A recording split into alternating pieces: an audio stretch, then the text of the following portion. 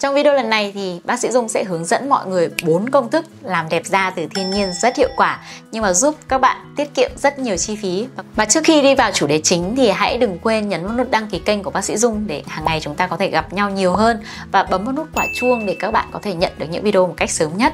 Ở trong tự nhiên của chúng ta sẽ có rất nhiều sản phẩm làm đẹp da và bây giờ thì nó đang có trong tủ lạnh nhà bạn hay trong gian bếp của nhà bạn và chỉ cần sử dụng những cái sản phẩm này theo những công thức nhất định thì sẽ giúp da của bạn sáng hơn hơn đều màu hơn làm mờ những cái vết thâm rất là hiệu quả. Mà các bạn sẽ không tốn quá nhiều tiền.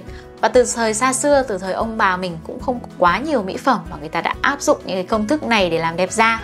Thì trong video lần này bác sĩ Dung sẽ lần lượt hướng dẫn các bạn từng công thức một. Và những cái công thức này thì mình cũng đã từng sử dụng và mình cảm thấy là nó rất an toàn và hiệu quả. Công thức đầu tiên mà mình đã áp dụng để làm đẹp da từ những năm mà cấp 2, cấp 3 thì đó là làm đẹp da bằng nước vo gạo trong nước vo gạo thì nó sẽ có rất là nhiều vitamin và khoáng chất, đặc biệt là nhóm vitamin B. Trong đó có vitamin B1. Những cái nhóm vitamin này nó sẽ làm cho da mình ẩm hơn và làm da mình sáng và đều màu hơn. Và từ ngày xưa thì ông bà mình đã biết dùng nước vo gạo để rửa mặt. Nhưng mà trong video này thì mình sẽ tiết lộ cái cách đắp mặt nạ bằng nước vo gạo rất là hiệu quả. Về cách làm thì đầu tiên các bạn sẽ đổ nước vào gạo và các bạn vo qua một đợt. Sau đó thì chúng ta chắt cái phần nước này đi. À, vì phần nước này thì có chứa rất là nhiều tạp chất và bụi bẩn nên các bạn không nên sử dụng cái nước đầu tiên. Bước thứ hai là các bạn lại đổ nước vào gạo và các bạn vo thêm một lần nữa. Nhưng mà lần này thì các bạn sẽ chắt cái phần nước sau đó các bạn đổ ra ly và các bạn có thể để ở trong tủ lạnh hoặc là để những cái nơi mà nó mát mẻ. Và các bạn đậy lại chúng ta sẽ đợi trong vòng 4 đến 5 tiếng. Sau 4 đến 5 tiếng thì các bạn sẽ thấy cái ly nước này nó sẽ có hai phần. Phần trên là phần nước còn phần dưới là một cái phần lắng cặn nó có màu uh, đậm và hơi dẻo một chút thì các bạn sẽ đổ hết cái phần nước đi và để lại cái phần đục và chính cái phần đục này nó sẽ chứa rất nhiều vitamin. Các bạn sẽ đắp lên da để làm đẹp da và chúng ta đắp như một cái loại mặt nạ thông thường và khi đắp lên thì mình sẽ đắp trong khoảng 15 đến 20 phút cái mặt nạ mà nó vẫn còn dính dính ở trên da sau đó rửa lại bằng nước ấm. Sau đó thì uh, sẽ rửa lại bằng nước sạch thì lúc này thì da của mình sẽ được xe khít lỗ chân lông hơn.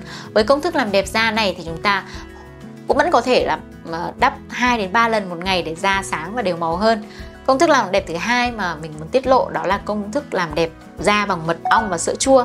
Đó là hai thứ rất là thông dụng đối với người Việt Nam và rất nhiều người đã sử dụng cái sản phẩm này để tăng cường sức khỏe lẫn làm đẹp da ở trong sữa chua thì nó có rất nhiều vitamin, lợi khuẩn. Và cái lợi khuẩn này nó sẽ giúp hỗ trợ đường tiêu hóa tốt hơn và đồng thời thì nó cũng làm da mình khỏe hơn. Ngoài ra thì ở trong sữa chua nó còn có một cái loại axit, đó là axit lactic. Và cái axit lactic này nó là một cái AHA một cái tẩy tế bào chết hóa học khi các bạn sử dụng lên da thì nó sẽ lấy những cái tế bào trên cùng của da để giúp da của mình mịn hơn, đồng thời làm sáng và đều màu da. Vì vậy mà rất nhiều công thức làm đẹp da từ thiên nhiên thì người ta đều cộng chung với sữa chua là vì vậy còn mật ong thì nó sẽ giúp làm tăng cường sức đề kháng. Ngoài ra nó còn là một sản phẩm làm đẹp da được ứng dụng rất là nhiều. Ở trong mật ong thì có chứa chủ yếu là đường, các axit amin. Và mật ong thì nó có tính kháng khuẩn và kháng viêm. Vì vậy khi mà các bạn vừa trộn mật ong với lại sữa chua vào với nhau thì nó sẽ hỗ trợ da của mình khỏe hơn, đều màu hơn và sáng hơn. Công thức để mà áp dụng cái mặt nạ sữa chua và mật ong này đó là các bạn cứ trộn hai thìa sữa chua cộng với một thìa mật ong. Sau đó các bạn trộn lại và các bạn đắp lên da, giống như là mặt nạ và sau khi mà các bạn đắp xong khoảng 15 đến 20 phút thì các bạn cũng sẽ rửa lại bằng nước ấm. Sau đó lại rửa lại một lần nữa bằng nước lạnh thì chúng ta sẽ có một làn da rất là mịn màng.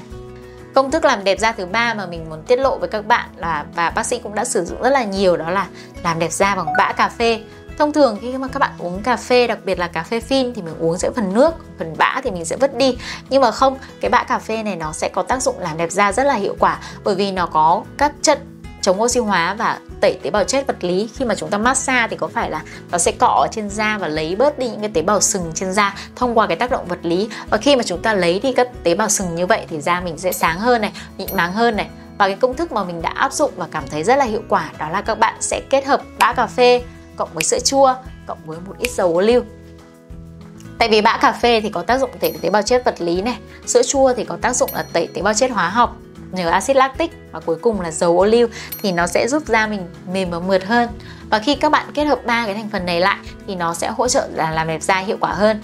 Và công thức này thì mình thường dùng để tẩy tế bào chết cho body vì những cái hạt cà phê nó khá là lớn. Nếu mà sử dụng trên, lên trên da mặt thì đôi khi dễ bị kích ứng hơn. Vậy cái cách sử dụng như thế nào? Chúng ta sẽ trộn một cái hỗn hợp không cần một cái công thức nhất định đâu và chúng ta có thể đổ bã cà phê vào sau đó đổ sữa chua vào sau đó đến dầu ô liu. Và dầu ô liu thì thông thường các bạn chỉ bỏ từ 1 đến 2 muỗng thôi và tạo thành một cái hỗn hợp sền sệt. Và đối với công thức này khi mà đi tắm thì các bạn sẽ massage lên cơ thể. Bước 1 là chúng ta sẽ làm ướt người và bước 2 thì chúng ta sẽ massage những cái sản phẩm này lên trên da. À, đặc biệt là vùng cùi chỏ này đầu gối hoặc gót chân thì massage mạnh hơn một chút để lấy đi những cái tế bào chết và làm cho những cái vùng này sáng hơn và hoàn toàn các bạn có thể áp dụng một lần một tuần. Và nên nhớ là sau khi mà chúng ta đã massage lên khoảng tầm 10 đến 15 phút, thì các bạn hãy làm sạch lại bằng nước ấm. Sau đó là nước lạnh để da mình được xe khít lỗ chân lông. Và khi ra khỏi phòng tắm, khi da hơi ráo thì có thể là bôi những cái sản phẩm dưỡng ẩm lên để giúp da mình căng hơn, ẩm hơn. Và công thức làm đẹp da thứ tư mà bác sĩ muốn tiết lộ với các bạn đó là làm đẹp da bằng cà chua cà chua, dưa leo thì đó là những sản phẩm làm đẹp da rất hiệu quả. Bởi vì trong quả cà chua thì nó rất là mọng nước đồng thời nó chứa rất là nhiều vitamin đặc biệt là vitamin E này, vitamin C. Và hàm lượng vitamin C trong quả cà chua rất là cao khi mà các bạn sử dụng cà chua thì chính cái vitamin C ở trong cà chua nó sẽ giúp chống oxy hóa, làm sáng da, làm đều màu da hơn và đối với cà chua thì cái cách thực hiện rất là đơn giản, các bạn chỉ cần thái lát mỏng ra, sau đó các bạn đắp lên da, đợi trong khoảng 10 đến 15 phút Cuối cùng các bạn chỉ cần rửa sạch da lại một lần và như vậy là các bạn đã có một cái làn da sáng và đẹp. Tuy nhiên đối với những cái công thức từ thiên nhiên thì mình sẽ có những cái lưu ý không phải là làn da nào cũng phù hợp với những công thức thiên nhiên này mà có 3 trường hợp các bạn không nên sử dụng những cái loại mặt nạ từ thiên nhiên. Trường hợp đầu tiên là da của các bạn đang gặp tình trạng mụn hoặc viêm nhiễm. Trường hợp thứ hai là các bạn đang gặp các bệnh lý ví dụ như viêm da tuyến bã, viêm da tiếp xúc hoặc viêm da cơ địa. Trường hợp thứ ba là da của các bạn rất là nhạy cảm dễ bị kích ứng thì tuyệt đối không sử dụng các sản phẩm từ thiên nhiên một vài điều mà bác sĩ muốn nhắn nhủ với mọi người khi mà sử dụng các loại mặt nạ thiên nhiên này. Thì đầu tiên là chúng ta nên lựa chọn những cái sản phẩm từ thiên nhiên mà nó tươi còn căng mọng tránh sử dụng những cái sản phẩm héo bởi vì nó sẽ không còn hiệu quả trên da. Điều thứ hai đó là những cái sản phẩm từ thiên nhiên nó sẽ không có cái uh, nồng độ và tần suất sử dụng rõ ràng. Nên khi mà chúng ta sử dụng chúng ta sẽ thấy cái hiệu quả rất là chậm. Nếu các bạn muốn thấy hiệu quả thì cần phải kiên trì sử dụng. Điều thứ ba đó là ờ, nó chưa được tinh chế vậy khi mà các bạn bôi lên da, ngoài những cái thành phần tốt thì nó vẫn còn đi kèm những cái thành phần khác đi kèm. Nó chưa được tinh chế và khiến những cái bạn mà có làn da nhạy cảm, mẫn cảm hơn.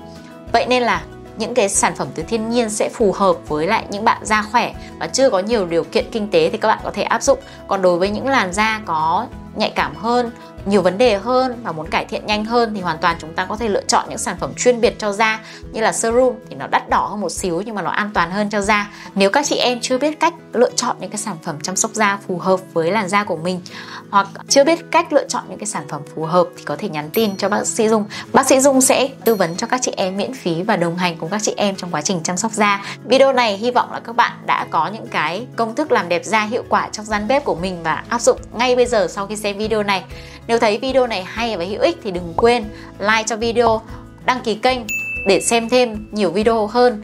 Xin chào và hẹn gặp lại.